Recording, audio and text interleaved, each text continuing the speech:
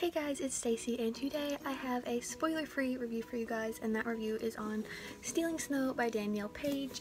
I recently read this book and I wanted to talk about it because I have mixed feelings about it, but let's get into it. This book follows 17-year-old Snow and she has spent her life in a psychiatric hospital and in this hospital she's made a best friend named Bale and she's in love with him and one day her and something happens between her and Bale and he ends up hurting her but she knows he would never actually hurt her and and then there's this mysterious guy who shows up claiming to be like a nurse telling her tales of this faraway land that she's their salvation.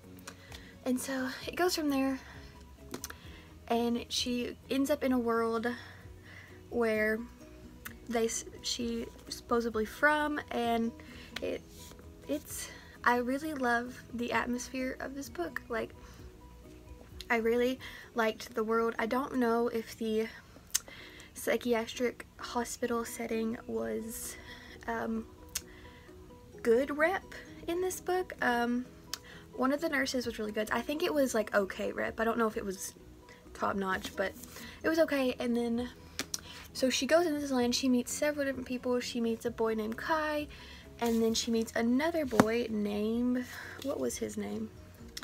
Jagger, and she meets a sea witch who's telling her all these prophecies and this book is a ride like a ride I wasn't expecting much going into it I thought it'd be just like a really fun YA fantasy that I'd forget about later on but I really hope there's going to be a sequel to this but this was pub published in 2016 so I don't know but the ending left off in a place that I really want a sequel but this book was a ride. I loved Snow. She was very much in my opinion, an unreli unreliable narrator because you didn't know what she was going to do. The only thing she really cared about in this world was Bale and finding him and saving him and I love that. Like she doesn't give a rat's ass about some prophecy and I thought that was so much fun. But one of my main problems with this book was that Bale, Jagger, and Kai were all potential love interests. Um, there was chemistry with all of them. I, I, there's that's too many love interests in my opinion. I, like, Bale was enough for me, maybe one other one, but no, there was too many. You never really knew their motives, especially Jagger's, and it's just, there doesn't need to be like a love square. There can be like a love triangle, maybe, but like, come on. Three love interests. We didn't need that many. But other than that, the story was fun. It did drag on for a bit, um, in my opinion, even though it's a pretty short book.